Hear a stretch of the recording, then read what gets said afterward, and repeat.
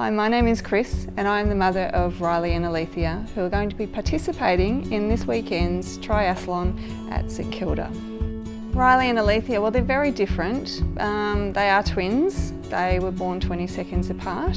At 20 weeks um, pregnant we found out Alethea had a hole in the heart. They then had to be born by an emergency Caesar at uh, nine weeks early.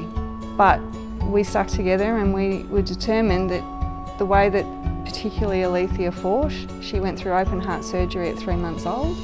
We've just got to be fit and healthy and give them the best chance at the best life. They didn't even know what a triathlon was, but it looked like fun, it looked like something that they could do, and they wanted to have a go. So proud of them, and they were so proud of themselves. The smiles on their faces were just awesome. My advice for other kids doing the triathlon is it isn't hard if you just keep going and stay focused and don't be scared.